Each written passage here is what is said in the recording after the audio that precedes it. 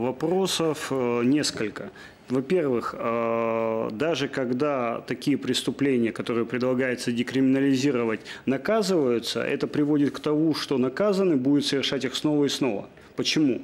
Потому что он попадает в результате наказания в среду, э, в места лишения свободы, э, где э, побои и прочее насилие – это норма жизни, это часть субкультуры. То есть э, речь идет о том, чтобы с помощью декриминализации остановить э, вот этот конвейер, делающий из людей уголовников.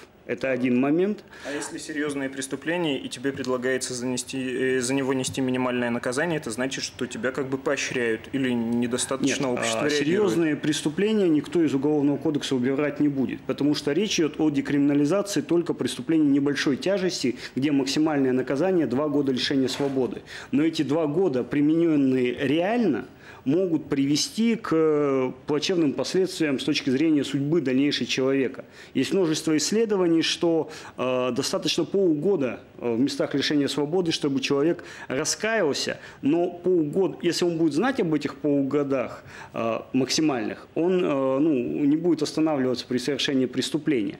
Плюс, э, чем еще руководствуется Верховный суд, это тем, что необходимо разгружать систему судов.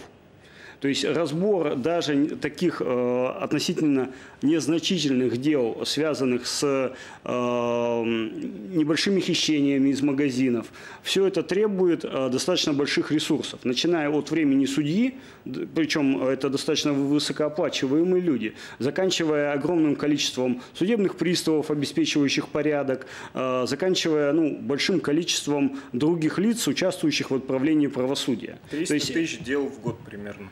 А, Да, статистика примерно такая. Плюс э, нам надо потихоньку отходить от репрессивной э, сущности государства, переходить к наказаниям, связанным скорее с кошельком, нежели с судьбой и свободой.